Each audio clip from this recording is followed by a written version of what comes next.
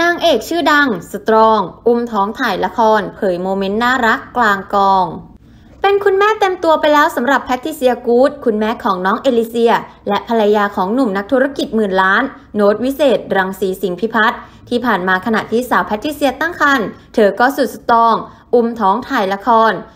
ซึ่งเธอเผยโมเมนต์น่ารักน่ารักระหว่างถ่ายละคร เมื่อต้องเข้าฉากกับอนันดา ในละครเกมรักทรยศ ซึ่งอนันดาเล่นเป็นสามี มีฉากที่ต้องลูบท้อง ลูกในท้องดิ้นจริง ตอนอนันดาคุยด้วย แต่กลับกัน พอหนุ่มโน้ตลูบลูกไม่เคยดิ้นเลย แต่หนุ่มโน้ตเองก็ไม่ได้น้อยใจอะไร